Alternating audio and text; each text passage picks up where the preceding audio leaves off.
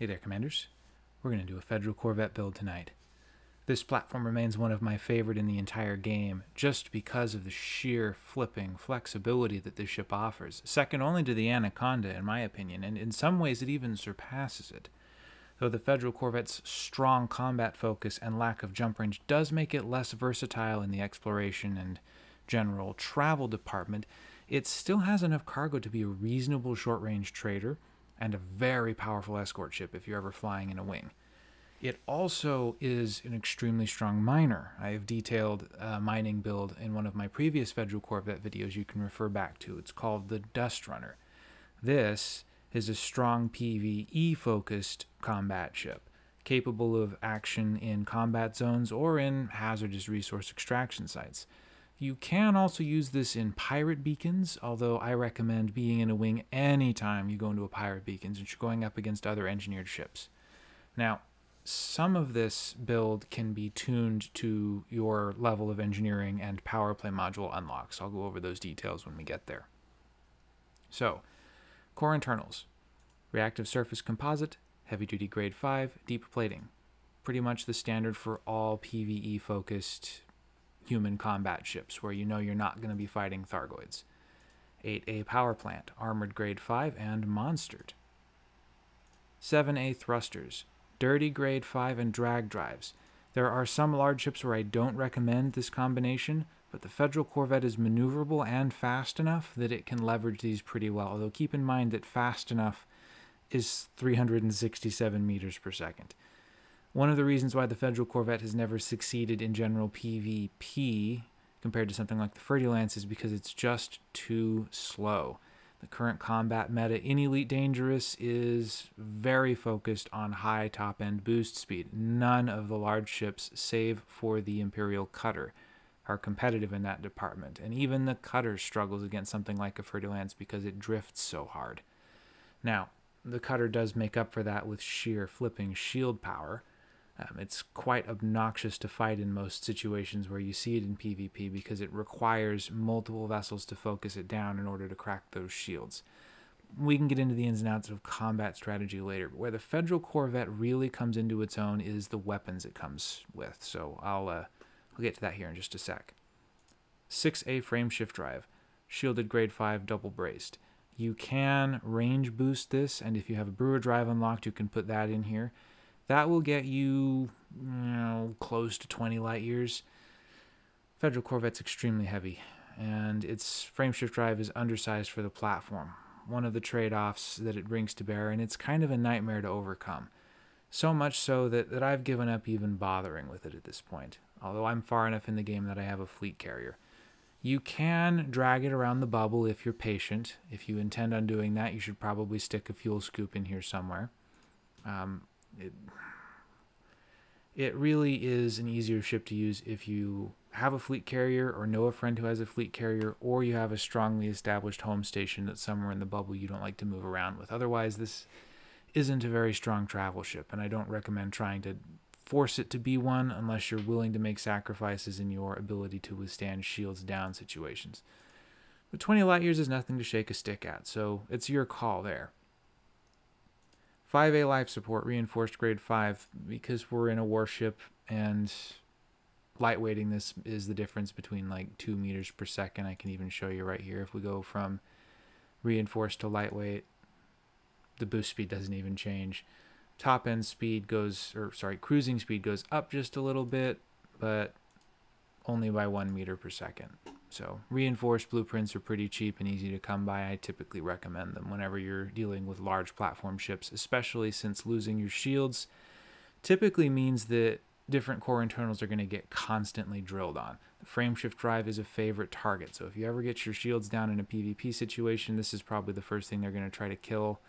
If uh, if not that, then your thrusters, because you know, the integrity is low enough that these can get shot out pretty easily if you show the enemy your rear. 8A power distributor, charge enhanced grade 5 with super conduits. Pretty much the only option when it comes to the Federal Corvette, unless you plan on running a really conservative pulse laser multi cannon build. Then you could actually get away with shielding the power distributor. If you were going to build a core hull tank and knew that you were going to run into a PvP situation, you can definitely shake up a, PvPer's day, but super pen railguns are just so powerful in a protracted fight eventually, stuff in here's going to break. 8A sensors, long range grade 5. Pretty much the only option here because the Federal Corvette is one of the only ships to offer 8A sensors and is one of the farthest ranged sensing ships in the entire game at 13.41 kilometers. You've got close to half of the instance available to you at any given moment, making the Federal Corvette an incredibly powerful spotter ship when you're doing wing engagements in a HazRes. You can see basically all of the pirates at any given time, and you can help guide your wingmates to potentially juicy targets. The 5C fuel tank is left untouched. Optional internals. This is a balanced mixture of shield and hull tank. If you favor a particular type of build, you can sacrifice shielding for additional hull reinforcement packages. I don't typically recommend this in most situations, although this is coming from a guy who owns a hull tank Type 10. Um, the, the problem that hull tanks have, even against PvE situations, is that hull damage is forever, and the repair limpet is largely irrelevant in most situations, especially with an engineered hull. It just takes too long to do anything. If that ever gets addressed in the future, I think we'll see hull tanks become a more popular, potentially viable option in more PvE situations. Outside of AX engagements, I just don't see that happening though um, AX being the one exception where hull tanks are actually relatively common. 7B Shield Cell Bank in the top slot. Rapid Charge Grade 4 with Boss Cells. This is the PvE focused Shield Cell Bank. If you get into a PvP situation, you've got 1620 megajoules of shield power available to you, which is enough to get away, making this an open safe build. It is not enough to deal with a protracted engagement because with this shield cell configuration, you're probably never going to be able to get a full bank in before you get canceled by a feedback cascade railgun. Um, just for the record, even if you did PvP focus this shield cell bank by selecting specialized grade 4, and then for the experimental choosing recycling cell, um, you're still so big and present such a massive cross section, you're probably not going to be able to successfully bank against something like a Fer-de-Lance. It's very difficult to do, it takes a lot of practice, and the margins for error are extremely small. 7A Universal Multi Limpet Controller. If you're doing PvE situations, this new controller is now your best friend. If you're into combat salvaging, want to collect materials while you're out and about, or want to turn this into one of the most powerful multi mission ships in the game, you now have the option to do that on the cheap, costing you only one module where it might cost you two or three to put everything on here. This Federal Corvette has the ability to be a pirate, a hostage rescuer, a super ship raider, a general salvager collector.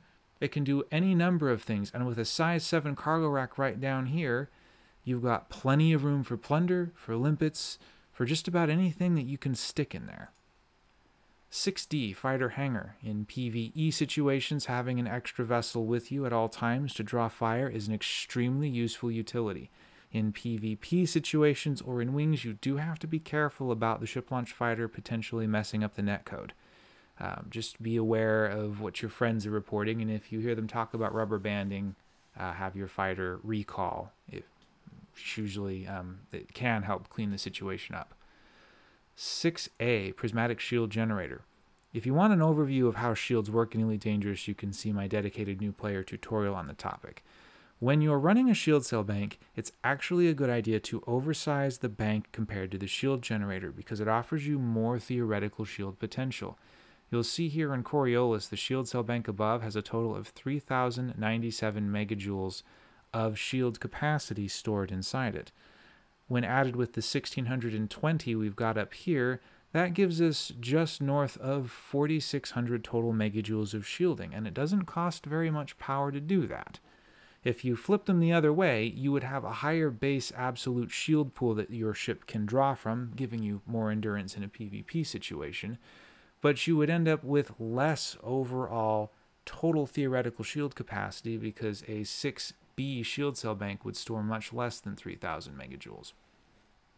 So, as a general rule, anytime you know you want to run shield cell banks and you're building a shield tank oriented ship, it's a good idea to have the shield cell bank be at least one size larger than the shield generator.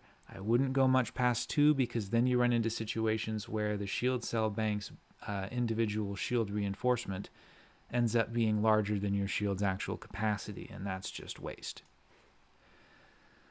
5D module reinforcement package. I always recommend having at least one of these on a combat ship where you can fit it. It increases your module internal endurance, giving you a lot more ability to take damage, especially if the weapons that are attacking you do internal damage.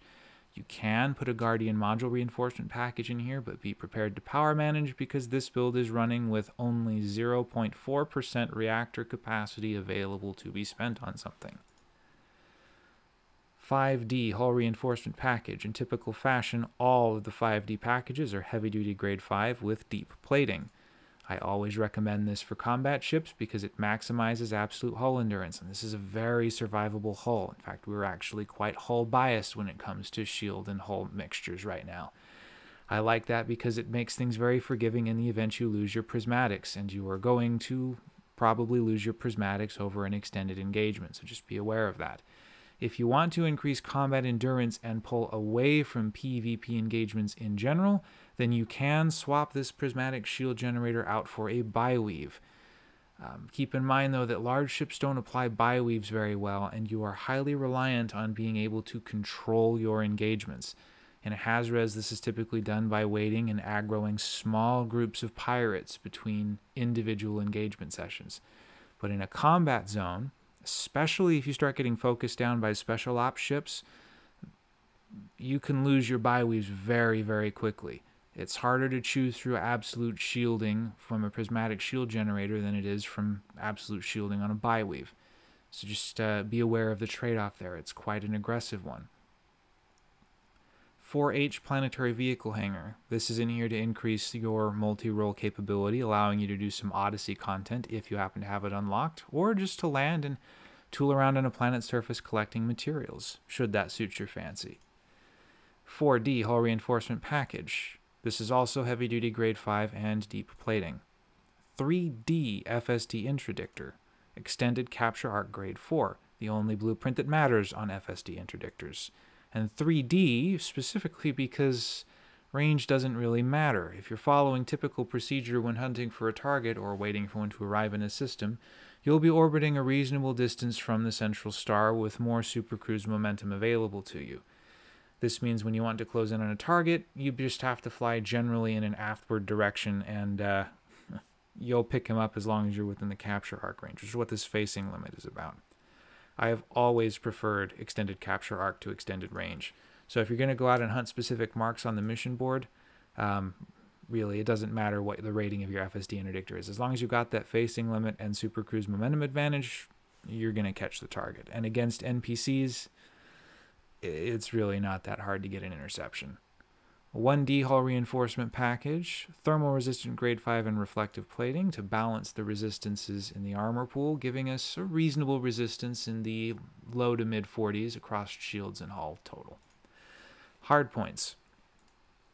Short range grade 5, oversized. Plasma accelerators are extremely brutal weapons and the Federal Corvette, because of its phenomenal turn rate, applies them extremely well. However, because it's so slow, I've never found situations where long range has been all that useful. In fact, NPCs are really stupid. They'll close to point blank range and attack you like complete dunces every single time. So you may as well take advantage of their stupidity and run the biggest, nastiest cannon you can possibly run. Plasma accelerators combined will deal more than 100 points of partially absolute damage, making it extremely powerful against shields. This will be the primary way that you break shields on bigger and, and some smaller NPC ships. Um, short range and oversized pooled together is definitely the way to go. If you don't want to worry about ammo and want to increase your overall combat endurance, you can switch to Plasma Slug, but it sacrifices a significant amount of damage, and it will draw from your fuel reserve, so be careful because you can evaporate all the fuel in your tank over extended fights if you're not paying attention. Um, I don't recommend any of the other fancy experimentals that come with PAs for PvE because FDev hasn't built in behavior in the AI that recognizes those experimental effects. So things like target lock breaker and phasing sequence. Well, no, phasing sequence works. Target lock breaker and dispersal field is, I believe, the one that screws with your radar. Um, neither one of them work. So uh, I wouldn't bother if you're only going to fight against NPCs. Oh crap, I just deleted my... See if I can undo that. Nope. Okay, let me put that uh, multi-cannon back in here. Bear with me. 3C. Short range. And autoloader. This is the primary damage dealer if the shields go down and you're fighting against a smaller ship. Um, plasma accelerators on the Federal Corvette are extremely powerful against medium and large ships, but if you get swarmed by a couple of little eagles, these things are like trying to kill a mouse with a sledgehammer. You might get lucky if, you know, the NPC makes a mistake and runs into something, but most of the time, Eagles, Sidewinders, hell, Cobra 3s will be very difficult targets to hit if they're not presenting their full cross section to you, and the NPCs are actually okay at not doing that most of the time. So, uh, multi cannons with gimbals specifically help you to deal with those smaller targets, putting out a lot of damage and not a lot of time. An autoloader just helps make sure that you can lay down the punishment for ships stupid enough to close to engagement range with you. And since they're going to be smaller ships and they're going to be really close, uh, 3C multi-cannon with short range maximizes damage output. 33.1 kinetic damage is quite a lot for small and medium hulls to deal with. So this can also help contribute to killing medium targets that might engage you. Pack hounds also assist with this objective. High capacity grade 5 and drag munitions on both pack hounds in the medium slot. This will allow you to eviscerate small ships, ship launch fighters, and even some medium ships. Add in module sub targeting towards the drives or other key external weapon hardpoints, and you can pretty much declaw the more dangerous of the cats that might try to come after you in short order. The two smalls are both multi cannons, one with both with high capacity grade 5 as the blueprint, and then one uses emissive munitions as the experimental, while the other uses corrosive shell. The corrosive shell multi-cannon is liable to run out before any of the others, so just be aware of it. It will stop working first in protracted engagements, but all of these weapons taken together allow you to really hurt NPCs, grinding down even the strongest of holes in short order. Utility mounts. We have three size A shield boosters in the top three slots. You might shuffle these around depending on how you lay out your point defenses. Um, typically, you want a point defense facing upwards and a point defense facing downwards, covering your dorsal and ventral hulls respectively. Your ventral point defense should be as close to the cargo rack as possible, protecting you from hatchbreaker limpets. The three shield boosters in the top slots are two thermal resistant grade 5, both with super capacitors to help increase the absolute shield pool. The last shield booster, oh, sorry, is also thermal resistant grade 5 and super capacitor. This limits the amount of power that gets drawn down. It's one of the viable shield mixes that you can put in here. And keep in mind, you're going to get a ton of different opinions from a ton of different people about which one is best. I don't know what the right answer is, depending on the situation but we've had to make some power compromises on the shields in order to drive these plasma accelerators. They're very expensive weapons to carry on this ship, and the reason why we're actually running multi-cannons and missiles on the rest of the hardpoints is to clear the board for the plasma accelerators to be the primary damage dealer. Um, making sure that they can fire as often as possible and with maximum bars to your weapon capacitor to keep your weapons cool. Now, even with all of that cooling potential, you're still going to overheat with sustained fire. So shot timing is essential. Add weapon synthesis, premium ammo, for example, to this mixture adds another 30% damage, pushing your damage threshold into one of the highest burst DPSs capable of being created in the entire game. It's a lot of fun if you're willing to put down the engineering work to get this done. And keep in mind, you're going to need basically all of the engineers unlocked to build this thing, and a whole lot of credits. So uh, just be aware, this is quite a project ship to build, but it's a very rewarding ship because it will literally do just about anything as long as there's a landing pad nearby that can support you. two point defenses, as I mentioned before. I have ammo capacity in here, but you really don't have to engineer them at all. I've never heard of anybody running out of ammo on a point defense. It's just a cheap engineering blueprint that you can toss in here. Feel free to put lightweight, reinforced, or shield. Well, actually, shielded will draw too much power. Lightweight or reinforced are your other two alternatives, of which I favor reinforced because, well, integrity on external uh, module space is more important than being lightweight, especially on combat ships. Uh, let's see. Heatsink launcher. Ammo capacity. This is to uh, unfry your bacon if you get your shot pacing wrong on the plasma accelerator and start to cook. Um, you can put two heatsink launchers on here. I have two chaff launchers on here because they're cheap and it's nice to be able to draw off small ship fire if you're in a tight situation useless in PvP environments. It would actually be better to just put more heat sink launchers on here. So that mixture I'll leave up to you as the discerning user. You know how you like to play this game. You know what you want to stick in here as far as heat sinks and chaff launchers are concerned. There's basically not a wrong answer as long as you can survive engagements and get back to the station for your payday. Now, one thing you'll note is missing here is the kill warrant scanner.